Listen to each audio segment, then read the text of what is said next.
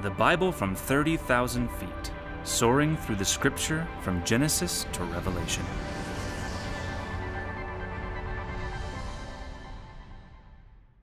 Please turn in one of the most depressing books in the world, the book of Job. You'll notice that Job has 42 chapters, and actually, that's sort of tongue in cheek. Uh, it would be the most depressing book in the Bible if you've just read the first part and not the last part. You get to the last part and you see how things change and what God brings Job through. It's vastly different. Um, I love what I do. I love pastoring uh, a church, I love pastoring this church, and I love walking with people through the full spectrum of life's experiences from birth all the way to death. I love when I dedicate babies and then they grow up and they bring their babies to be dedicated, and uh, that cycle continues. I love watching them as they grow up. Uh, some I get to watch as they date, some I get to marry after they date, and then um, work through their problems in life and marriage, some of them. Uh, others deal with, maybe even the same ones, deal with disease, pressure at work, relational malfunction, and even death. So I have the privilege of seeing people when they are born, when they are born again, when they suffer through life, and then when they die and go to heaven. I consider it a holy honor and a holy privilege. Um, but with that comes the ability to see a lot of suffering, which I do. Every pastor does. Sometimes we'll, we'll do four funerals a week at this church. So there's a lot of suffering and a lot of sorrow with that. Um, people that we know and love that are the picture of health get diseases and suffer through them. Some get out the other end okay, healed. Others die eventually all die. So far, it's been one to one. Every one person dies. And sometimes people ask me, how can you see all of that pain and all of that suffering and still be a pastor? My answer is, I don't think I could see all that pain and suffering unless I was a pastor.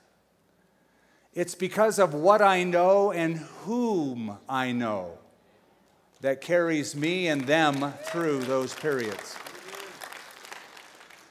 But there are a lot of questions about life. Everybody has them. And there's one book in the Bible that I would say has a disproportionate amount of questions, and it is the book of Job. There are 330 questions in the book of Job, 330 of them question after question after question in 42 chapters of this book. If you were to compare that to the book of Genesis, Genesis has 160 questions, the Gospel of Matthew, 150 questions, the book of Psalms, longest book in terms of chapters, 150 chapters, has only 160 questions. Job has 330 questions. Now, it's easy to understand why. Because the main theme of the book of Job is human suffering, loss, tragedy, pain. And with those things naturally come the question why, and several others with it. The story of Job, if you're familiar with it, and by the way, I had a roommate that was not familiar with it. He refused to read the book.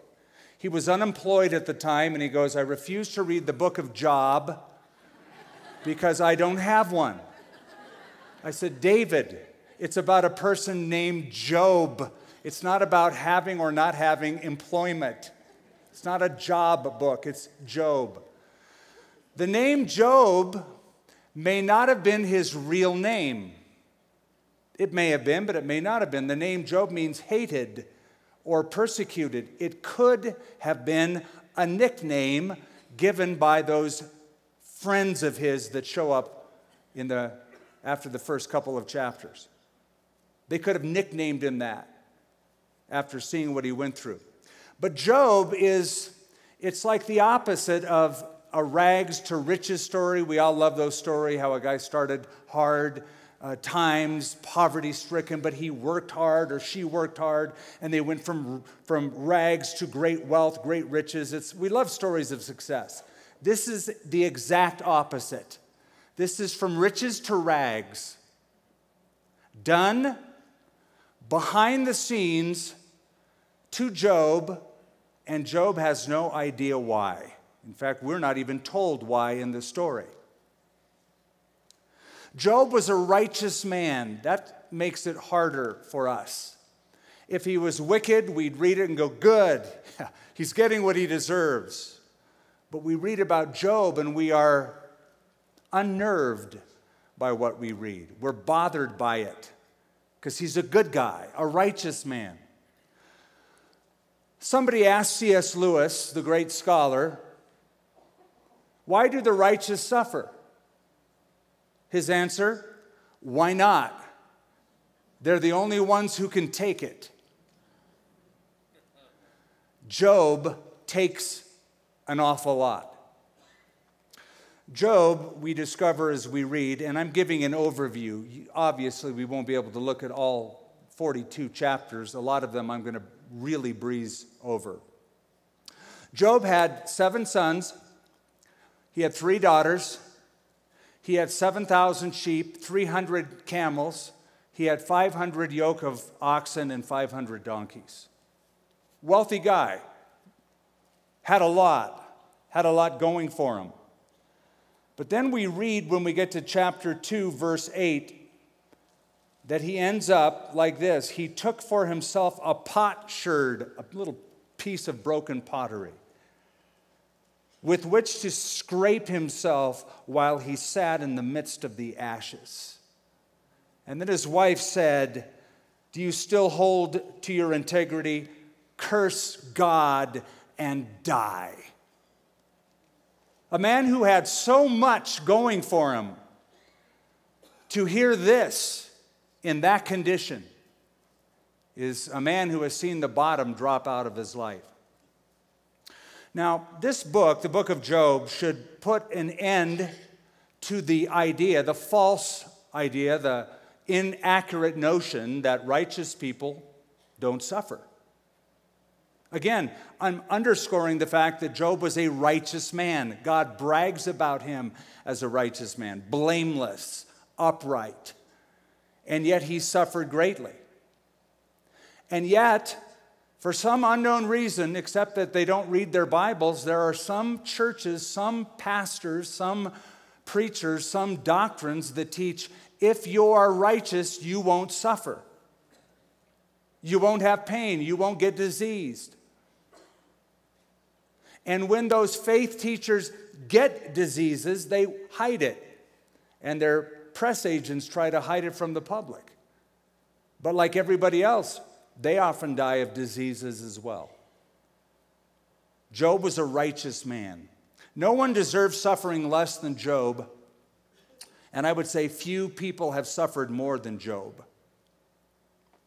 We don't actually know who wrote the book. I'm not going to get much into that. I covered that in my book, um, 30,000 Feet. But, but we don't even know when it was written, except I believe it was written, as most conservative biblical scholars believe, it was written during the patriarchal period. In fact, it may well be the oldest book in the Bible next to Genesis, or written around the same time or the events happening concurrently with the patriarchal age of Abraham, Isaac, and Jacob.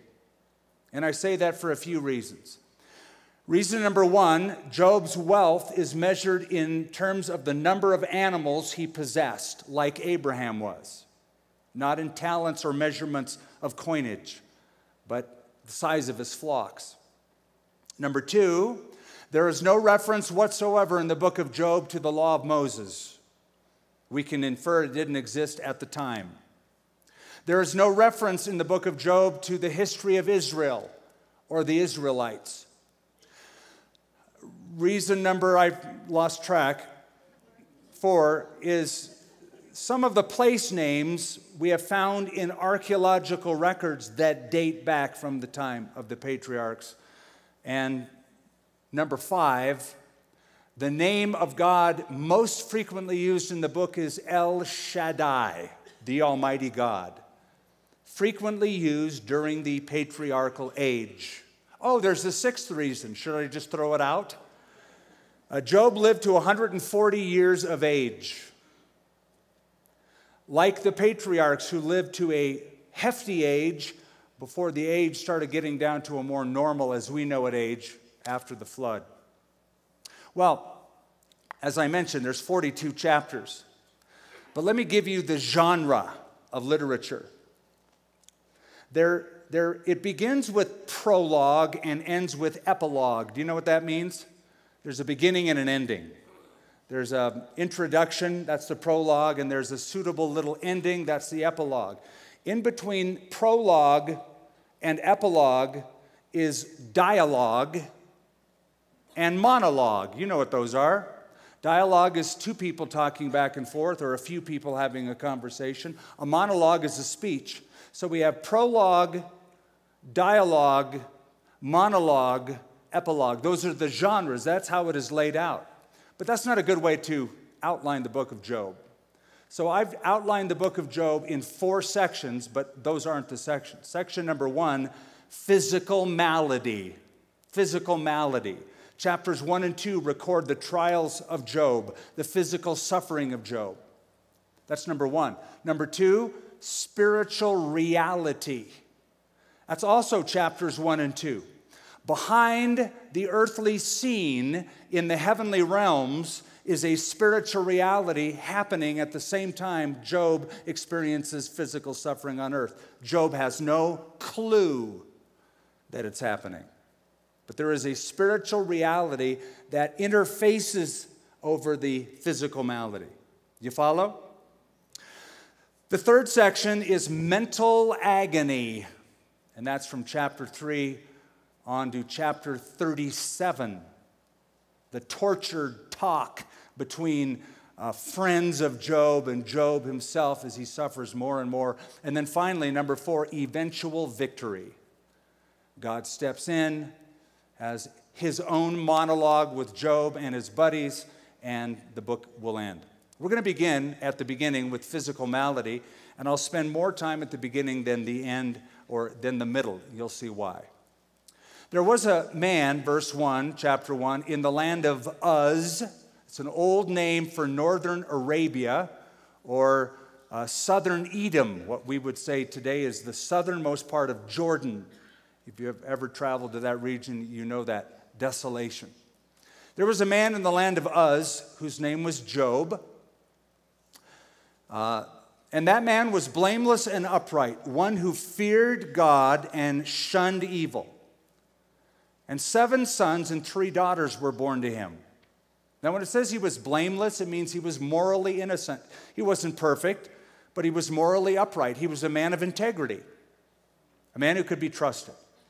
Also, verse 3 his possessions were 7,000 sheep, 3,000 camels, 500 yoke of oxen, 500 female donkeys, and a very large household, so that this man was the greatest of all the people in the East. The word greatest, the Hebrew word means heaviest, heaviest, or the largest. Now, that is not a description of his physique. He was not physically obese. It just means he was reputable. Okay, he was, the, he was heavy, man. We used to say in the 60s, that dude's heavy. Doesn't mean, we're not speaking necessarily that he's obese. We just mean he's awesome. In this case, he's reputable. Great.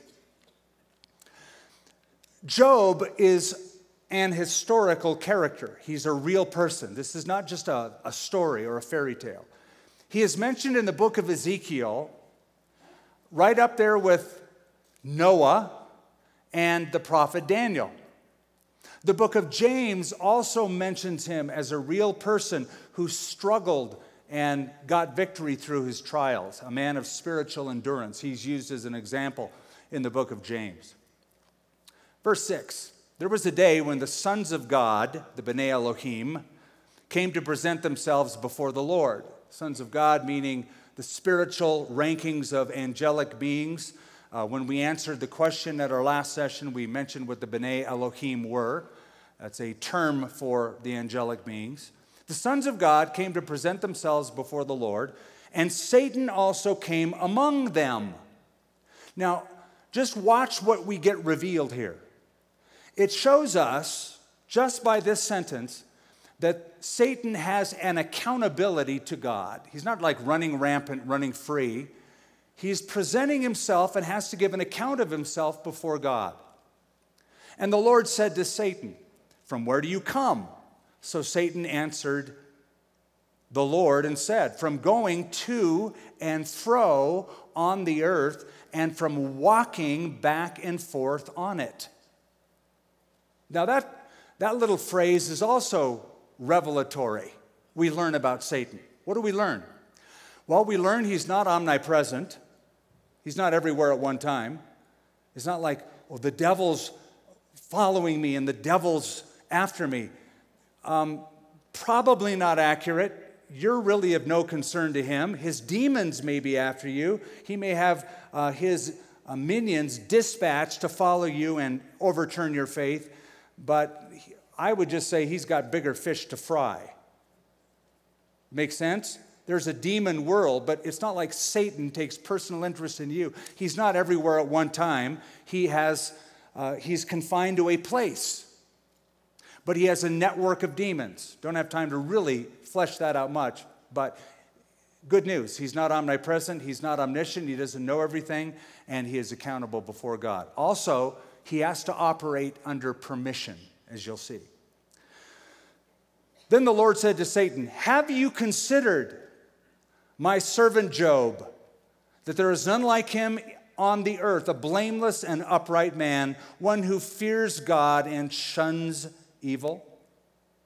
So Satan answered the Lord and said, Does Job fear God for nothing? Have you not made a hedge around him, around his household, and around all that he has on every side? You have blessed the work of his hands, and his possessions have increased in the land. Now, you and I right now have information Job didn't have. Job didn't know that Satan and God were having a conversation about him. We know about it, but he didn't. He was completely in the dark about this. But now, verse 11, stretch out your hand and touch all that he has, and he will surely curse you to your face. Basically, Satan is accusing Job of being a mercenary. Job only follows you, God, because you bless him. Who wouldn't follow you with what you've given to him? Anybody would mind their P's and Q's and obey God and obey His laws and be upright if he got all that cattle and all that livestock and all that plot of land and family. He has impure motives. Take them away, his possessions, and I'll show you. He'll curse you to your face.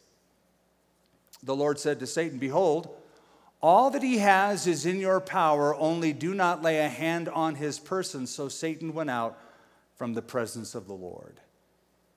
At this point, four rapid fire disasters occur in Job's life. And they take out, they, they destroy, they eradicate his livestock, his servants, and all 10 of his children. It's impossible to imagine the overwhelming nature of that. Any of us, our plate would be full with the loss of one, something we would never recover from. All 10 are gone. Four servants survive to tell Job, to inform him of what he has lost. In the second chapter, as we're going to see, we're going to touch on that, he gets physically stricken. And let me just give you a composite of several verses that will display his eventual condition. Uh, chapter 2, verses 7 and 8 shows that he is inflamed by lesions, and with the lesions come itching. It says, painful boils from the sole of his foot to the crown of his head, and he took for himself a potsherd with which to scrape himself while he sat in the midst of the ashes. I had just read that verse to you. In chapter 7, verse 5, it seems to indicate there are maggots in the ulcerations of his skin. It says that my body is clothed with worms and scabs, the skin is broken and festering. In chapter 30, he describes osteopathy, pain in his bones. Says, Night pierces my bones, my gnawing pain never rests. In chapter 30, verse 30, there's a darkening of his skin and a sloughing off of his skin. My skin grows black, it peels, my body burns with fever. Chapter 7, verse 14, seems to describe night terrors when Job says, You frighten me with dreams and terrify me with visions. So get the picture. Job, safe, comfortable, rich, a fat cat, trusting God, loving God, honoring God, perfect, upright. Suddenly, tragedy strikes. He loses everything and everyone except his wife to comfort him. Some of you are laughing because you know the story, and I just read that one verse to you. What unnerves us is this if Job is vulnerable, then surely I am. And you would be right. None of us has any guarantees that because we commit our life to Christ, that we're going to have a hedge of immunity our entire life. Oh, there will be seasons of blessing, and yes, God does preserve life, but you don't have a walking, ongoing guarantee of perfect health, of awesome wealth, of no problems, of God just carrying you if you're in the center of His will. Our relationship with God does not guarantee an easy life. Verse 20. Then Job arose, tore his robe, shaved his head, and fell to the ground and worshiped. Now, notice his grief. He tore his robe, shaved his head, fell to the ground. That's expected, right? That, you expect that. When somebody does that after all this happens, you don't go, I can't believe he did that. No, I can believe he did that. That kind of grief is to be expected. Job was not some stoic, hyper spiritual, praise the Lord, hallelujah kind of a guy. He lived in reality. He was grieved. There is such a thing as good grief. And a person who doesn't grieve at a funeral or a loss is holding it inside and it will wreck that person because it eventually will come out in unhealthy behavior. Job is grieved. This is expected. Tears his robe, shaves his head, falls to the ground. But then what comes next is unexpected and worshiped. And he said, Naked I came from my mother's womb, naked I shall return. The Lord gave, the Lord has taken away. Blessed be the name of the Lord. That shows you that grief and worship can commingle. You can be going through total loss and still mix that with worship. In all this, verse 22, Job did not sin nor charge God with wrong. Pain does something for us. And here's what it does pain quickly removes the veneer of who we are. You know what I mean by veneer? Veneer is just a very, very thin coating of whatever. And um, uh, pain removes the veneer um, and, and gets down to the core of who you are and reveals who you really are.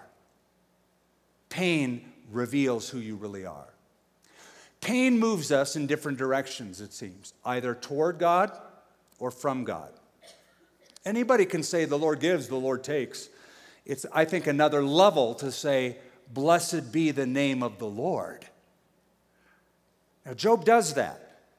He doesn't sin, he praises God. He goes, Praise God, bless the Lord. The Lord has blessed me and given, and because it's from Him, the Lord has decided to take it away. Incredible statement of mature faith. Sometimes God will calm the storm around you, but other times He'll calm you in the midst of the storm. Storm still rages, doesn't stop, but you're peaceful, you're calm. Now, again, Job knows what has happened. He doesn't know why or how. So that moves us to the second phase, that is spiritual reality. So far, Job really is the main character on earth, certainly he is. But the, the camera once again pans backstage, and we get a behind the scenes conversation. Chapter 2, verse 1 again, there was a day when the sons of God came to present themselves before the Lord, and Satan came also among them to present himself before the Lord. And the Lord said to Satan, From where do you come? So Satan answered the Lord and said, From going to and fro on the earth and from walking back and forth on it. I wonder how many of you still have the naive idea that Satan is in hell.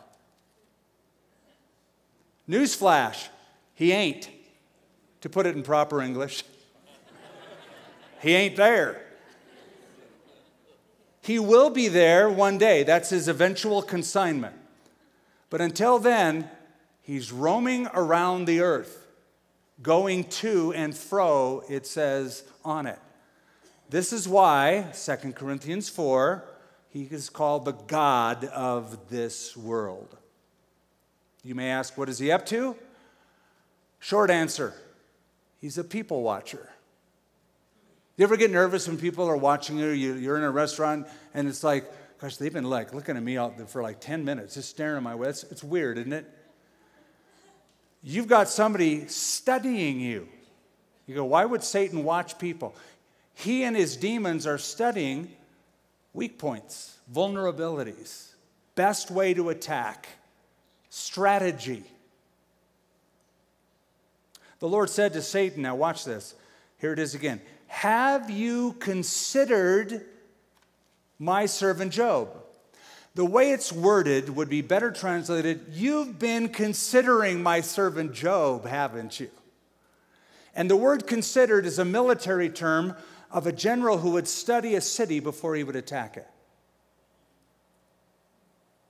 You've been watching, you've been studying, you've been looking, strategizing that there is none like him on the earth, a blameless and upright man, one who fears God and shuns evil, and he still holds fast to his integrity, although you have incited me against him to destroy him without cause.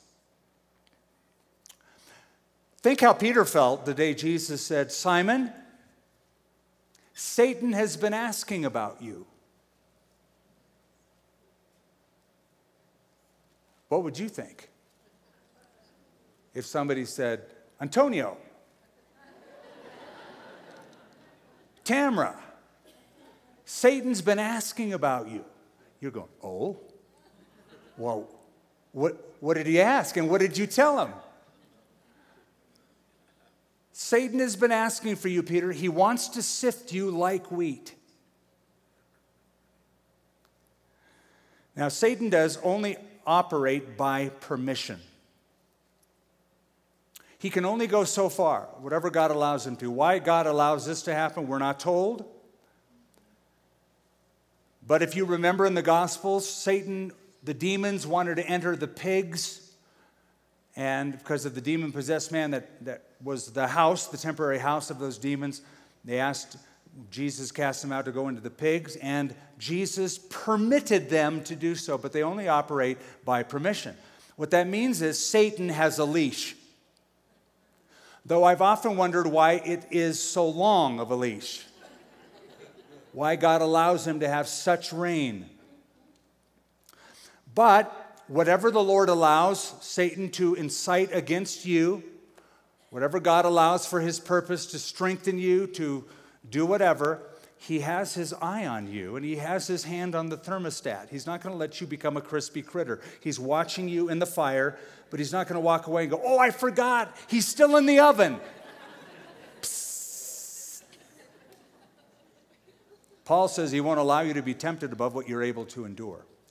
So, verse 4, we got to move along. So Satan answered the Lord and said, Skin for skin, yes, all that a man has, he will give for his life. That's the law of human preservation. I think Satan was an astute um, observer of human nature. I believe this is true. People will do almost anything to preserve life. Fight or flight mechanism. Skin for skin, all that a man has, he will give for his life. But stretch out your hand now and touch his bone and his flesh and he will surely curse you to your face. And the Lord said to Satan, Behold, he is in your hand, but spare his life. Verse 7 and verse 8 talk about the boils that he had, and he sat in the midst of the ashes and scraped himself. Verse 9 Then his wife said to him, What an encouragement she turns out to be. Do you still hold fast to your integrity? Curse God and die. Thank you, sweetheart. God bless you too. but he said to her, you speak as one of the foolish women speaks. Shall we indeed accept good from God? And shall we not accept adversity? You do well to study that verse, meditate on that. In all of this, Job did not sin with his lips. So here's the deal we look at the world, but we only see part of it. We don't see what's happening in the really real world, behind the scenes in the spiritual realm, in the realm of God and the angels and the demons. We wrestle not against flesh and blood, Paul said, but principalities, powers, workers, the darkness of this age. Remember when Daniel was praying and um, an angel was dispatched to him to give him a revelation, and he said, As soon as you started praying, I was dispatched from God, but the prince of Persia, I had to fight with him, the spirit prince of Persia, for 21 days. Finally, Michael had to come and bail me out. Now I got to tell you what God wants me to tell you, and I got to go back and fight the prince of Persia. That's a spirit entity, that's an angelic force. And here is an angel fighting a demon who has great power so that he needs the help of an archangel to win the battle. If the prince of Persia was that bad, I wonder what the prince of Las Vegas might be like. Or the spirit prince of San Francisco. Or we could name any place. So, after physical malady and spiritual reality, the bulk of the book is the mental agony that comes to Job when he wrestles with this, not knowing why it has happened, but his friends come along to offer advice. You're not alone when you suffer. People are watching you. You're on stage. Chapter 2, verse 11, when Job's three friends, you may want to put quotes around that, heard of all this adversity that had come upon him, each one came from his own place Eliphaz the Temanite, Bildad the Shuhite, and Zophar the Naamathite, for they made an appointment together to come and mourn with him and comfort him. Oh, that's beautiful. I want to mourn with you. I want to comfort you. That's good. And, what, and, and that's noble. And it was awesome until they opened their mouth. Verse 13 they sat on the ground for seven days. No one spoke a word to him. They should have left after that. They should have just been with him. Don't try to persuade or argue or preach at people in suffering. Just be with them, just hug them. Offer a word of encouragement from time to time, but let them lead. Chapter 3 through 26 begins the dialogue between Job and his friends, his buddies. There are three cycles of speeches by these three men. I'm just giving you a summation. The first cycle of speeches is chapters 4 through 14. All three of them give their speeches. Second cycle is chapters 15 through 21, and the third cycle in this dialogue is chapters 22 through 26. We are going to dip down and notice a couple of things. Chapter 3, verse 1 says, After this, Job opened his mouth and cursed the day of his birth And Job spoke and said, May the day perish on which I was born, and the night in which it was said, A male child is conceived. You know what that's called? Honesty. It's called venting. You know what venting is?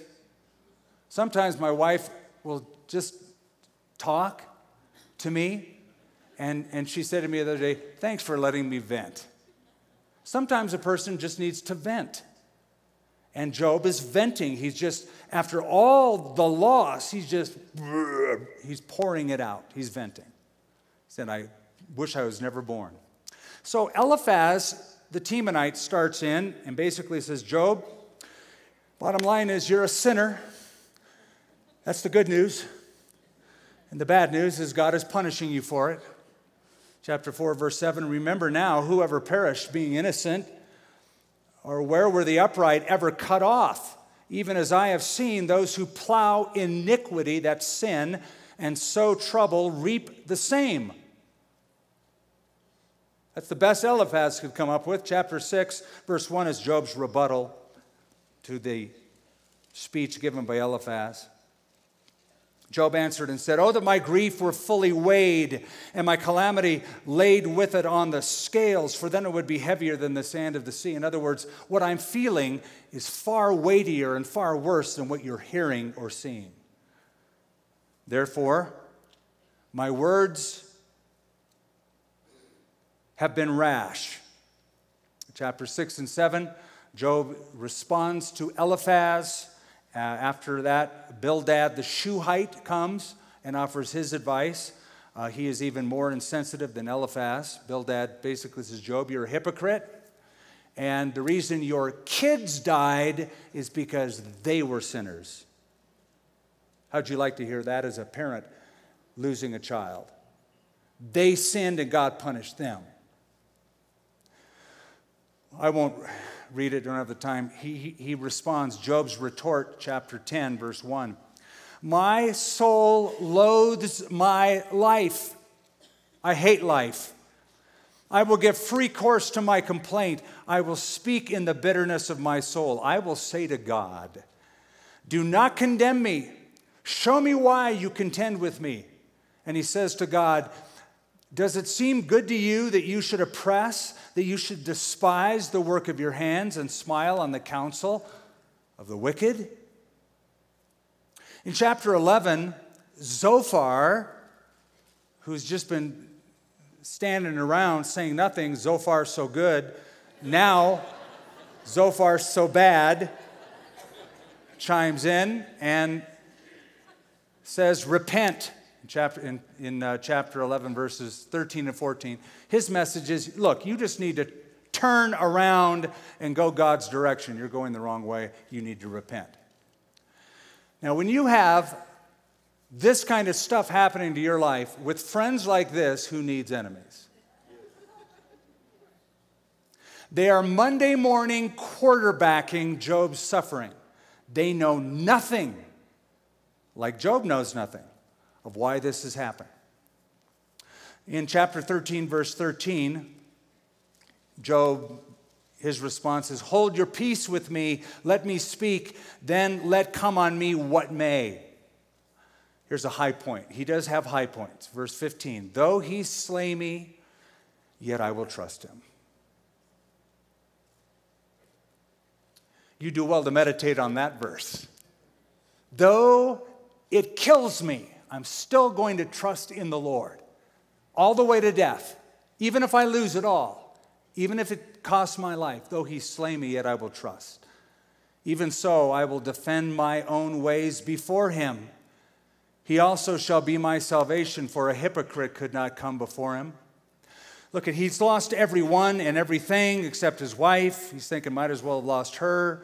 I don't know if it was a blessing to hold on to her, but I have her. But I basically lost everything and everyone, but I still have God. And I'm going to hold on to him. Mother Teresa once said, You'll never know if Jesus is all you need until Jesus is all you've got. If everything goes except Him, that'll be the test. I hope none of you ever get to that point in a test. Eliphaz's second speech is in chapter 15. Basically, says, Job, you're a fool. Now, Job has had enough. Chapter 16, verse 1. Job answered and said, I've heard many such things. Miserable comforters are you all. Amen. You could call yourselves counselors.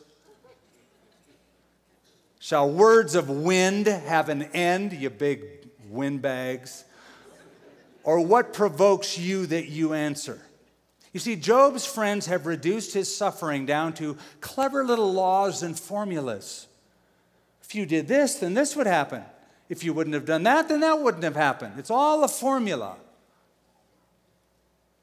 I'll never forget a couple who came to our church years ago, and they came because they left a church that was a faith church, a health, wealth church, and the reason they left is because they had a little girl taken to the hospital who was sick. The parents prayed, they had faith that God was going to heal their little girl. They brought the elders in, they prayed, and the baby died in the hospital, in the emergency room. The elders of the church then said to the parents, Today your daughter would be alive if you had enough faith. That's being punched in the gut after being laid completely low. And they just thought, we feel so guilty, we didn't know what to do. I said, first of all, has nothing to do with your faith. And they, they got back to spiritual health. They got back on their feet again. But this is what Job's friends are like to him. Cardinal rule walk softly around a broken heart.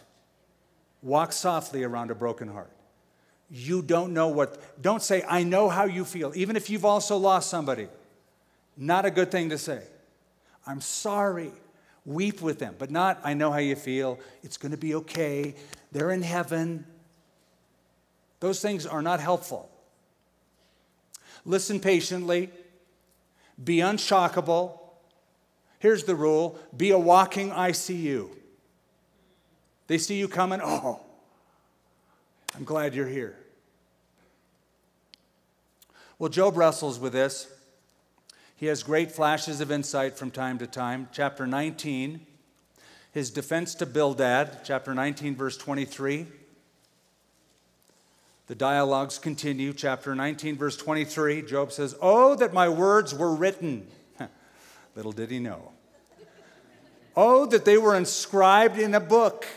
Here we are reading it that they were engraved on a rock with an iron pen and lead forever, permanence.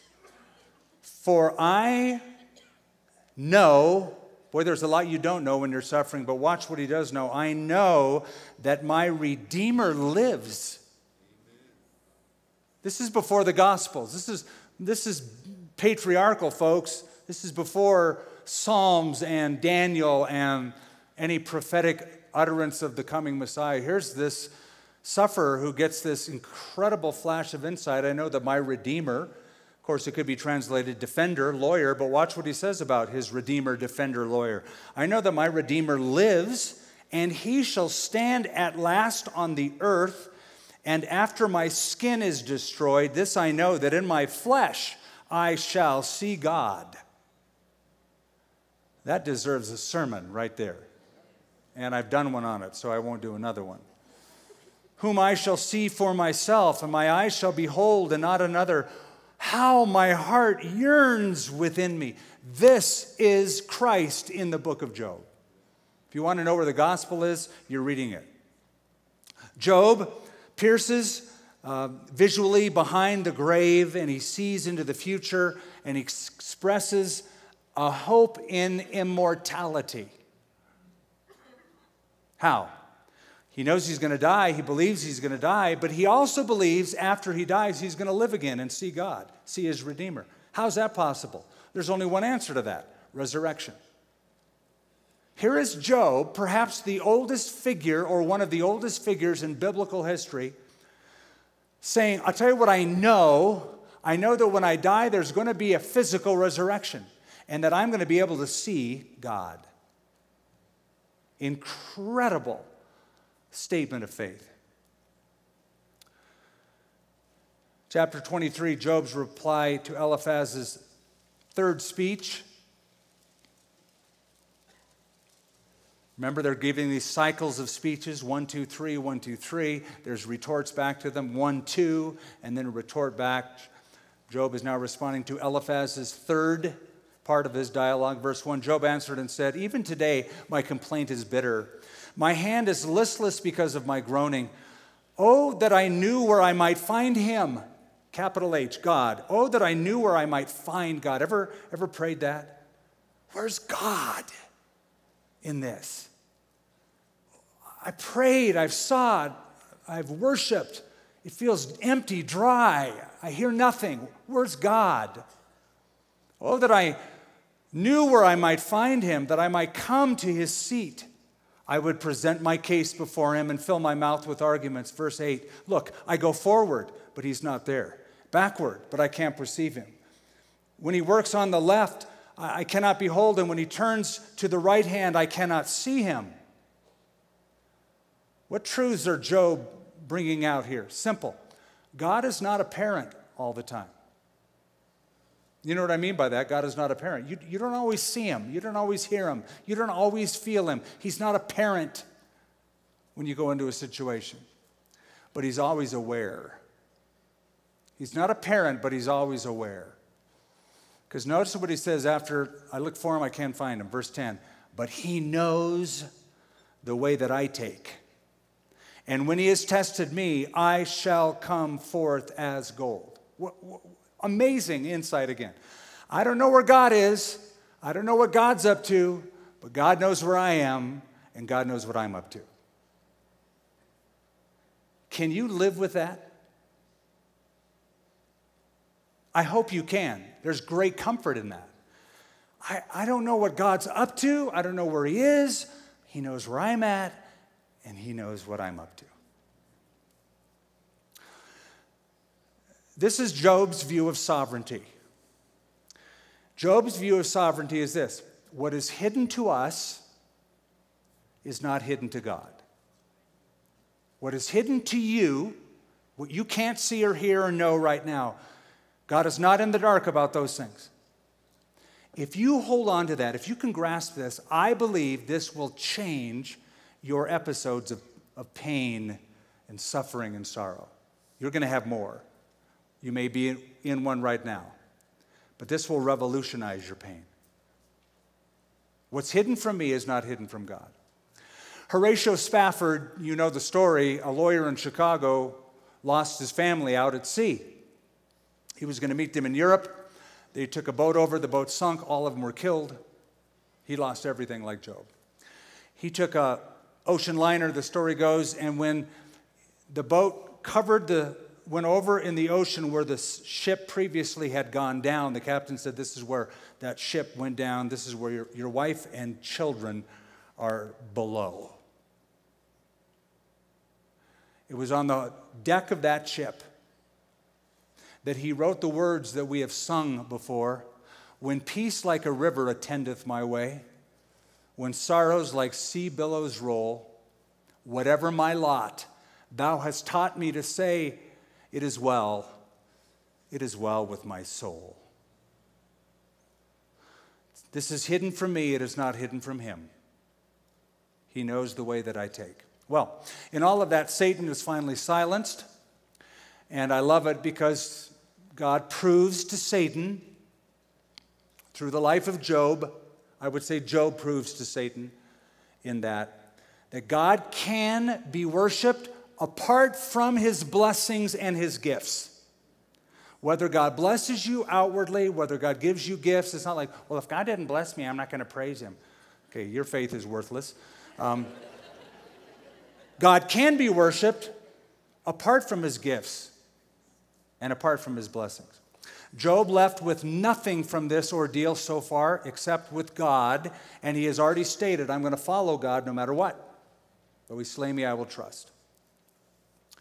I'm going to follow God when God strokes me with blessings. I'm going to follow God when he strikes me with pain. Chapters 27 through 42 are monologues. Um, three of them um, one by Job, then Elihu, which is a character we haven't looked at yet. I'm just going to mention him, not going to really read him, and then God.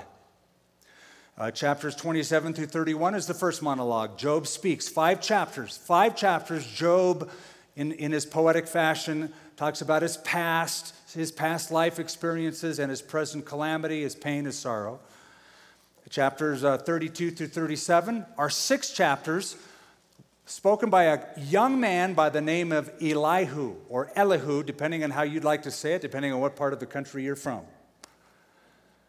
This young man of all of the four friends is the most unique because there is some semblance of wisdom. He gets angry at the three friends for bloviating against Job, not too happy with Job himself because he's saying, Job, look, I know you're suffering, but you, you can't usurp yourself above God. So this young man, younger in years, but points Job upward and basically says, Look up, trust God, look to the heavens. Look to God. So, after physical malady and spiritual reality and mental agony, let's close with ultimate victory, chapters 38 through 42. Now, God has a monologue. Now, God is going to speak. He ends the debate and he restores Job chapter 38, verse 1. Let's just get the beginning of it. Then the Lord answered Job out of the whirlwind and said, Who is this who darkens counsel by words without knowledge? All these opinions of people who know absolutely nothing at all. Sounds so much like the media. Who is this who darkens counsel by words without knowledge? It's, it's, it's, they, they cloud the truth with ignorant words. Verse 3 Now, he says to Job, prepare yourself like a man. I will question you, and you will answer me. Where were you when I laid the foundations of the earth? Tell me if you have understanding. Now, what God does here, you know, don't get too hard on God. I know Job is suffering, been through a lot, had to listen to his friends, but God's word is God's word. It's true whether you're feeling good or not.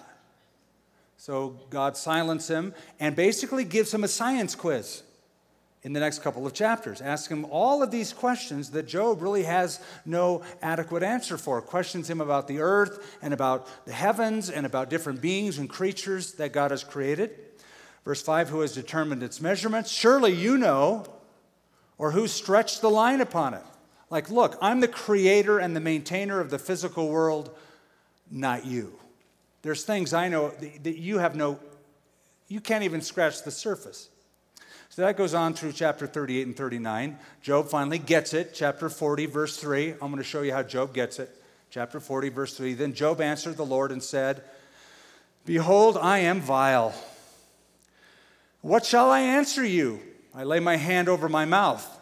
Once I have spoken, but I will not answer. Yes, twice, but I will proceed no further. But God continues through chapter 40 and 41 Look, I'm sovereign. I alone control what is uncontrollable. And here's the biggest point God wants to make with Job Job, I've asked you all these science questions about the physical world. If you can't understand my way in the physical world, what makes you think you can understand my ways in the spiritual world? If in the seen, visible world, you can't unwind and unravel what I've done, how could you possibly be able to conjecture about what goes on in a realm you have no purview over? It's very logical and theological. Job is humble, he's submissive. Chapter 42, verse 1 Job answered the Lord and he said, I know that you can do everything and that no purpose of yours can be withheld from you. You asked, who is this who hides counsel without knowledge? Therefore, I have uttered what I did not understand, things too wonderful for me which I did not know. No. Listen, please, let me speak. You said, I will question you, and you will answer me. I have heard of you by the hearing of the ear, but now, now my eye sees you. Therefore, I abhor myself and repent in dust and ashes. Sounds familiar, doesn't it? Isaiah saw a vision of God. First words out of his mouth Woe is me! Wow is you, woe is me. When Peter finally understood Jesus was divine, he said, Depart from me, I'm a sinful man. In seeing God, Job saw himself. Therefore, I abhor myself and I repent in dust and ashes. This is repentance and compliance. Verse 10 And the Lord restored Job's losses when he prayed for his friends. Ooh, Job, go pray for those friends that gave you rotten counsel. You heard a testimony tonight. Kim gave it before the study, so powerful about that prayer of forgiveness and releasing that, those things from her captors, the rapists, I forgive you, pouring that out. The Lord restored Job's losses when he prayed for his friends. Indeed, the Lord gave Job twice as much as he had before. He doubles up on everything except kids. He still has, he gets 10 more kids and he, so he, he doubles up on everything else but the kids. And you know, I think if you have 10 kids, double that really wouldn't necessarily be a blessing. So God blessed him. Verse 16 After this, Job lived 140 years and saw his children and grandchildren for four generations. So Job died old and full of days. As we close, how about this? Never let what you don't understand about God and His ways rob you from the love and care that God has towards you. Never let what you don't understand rob you of what you do understand. When you don't understand things, instead of going and fixating on it, I don't understand this. I don't understand why this. I don't care why this. Okay, what, what do you know? What do you understand? Now pivot to what you know and understand. Job, I know my Redeemer lives. Live there. I don't know why this is happening, but I know my Redeemer lives. I know at the last day I'll see him on the earth. So when you don't understand, pivot to what you do understand about God. And understand this suffering in the hands of a loving God can bring about great good. If I were to have open mic night and have you share your testimony about your periods of suffering, which I would recommend you do in home fellowships, a lot of you would say, This is what I learned through it. This is how my faith deepened through it. This is where I am now because of it. That's what you would do. There's fruit from it. Never underestimate the tool that suffering can be in the hands of a loving God who will not let the fire fry you, but come back and pull you out of the oven in the nick of time. No temptation has taken you, but which is common to man. God is faithful, won't allow you to be tempted of what you're able to endure. With the temptation, also make a way of escape. Best illustration I heard of it is this a bear is trapped in a cage by a scientist. The scientist simply wants to study the bear in order to make the bear's life and other bears' life better. But the bear doesn't understand the motive of the scientist. The bear just knows he's in a cage. So the scientist comes up to the cage, probes and pokes the bear, puts a hypodermic needle in it to take blood and do some tests. And the bear is thinking, that's a hostile creature. I need to kill it. It's trying to destroy me. That's not the motivation of the scientist. Finally, the scientist wants to let the bear go, but has to tranquilize the bear to spring the cage so that everybody else is safe around there. So when the tranquilizer goes into the bear, again, the bear is thinking the very worst instead of the best. This creature's out to kill me. That bear does not know the truth. The truth is, the scientist is trying to help the bear and other bears, right? You don't know what God's up to any more than the bear understands what the scientist is up to. Fair enough analogy, right? So when you come up against a wall and you don't understand, just think, scientist does. Somebody smarter than me knows. He knows the way that I take. And when I come out of this cage, I will come forth as gold. Amen? Amen. Let's pray. Father, you are a good God. And we've said it before God is good all the time, all the time, God is good. And so we say it again as we've swept over this book of Job and considered this man's suffering,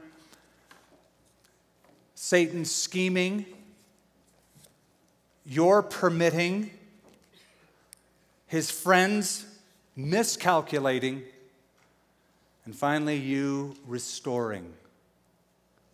May we rest in the fact that what is hidden from us is not hidden from you, and what's more, you have our best interest at heart, and what's more, you cause all things to work together for good to those that love God and are called according to his purpose. Thank you for that promise. In Jesus' name, amen. We hope you enjoyed this message from Skip Heitzig of Calvary Church. For more resources, visit calvarynm.church.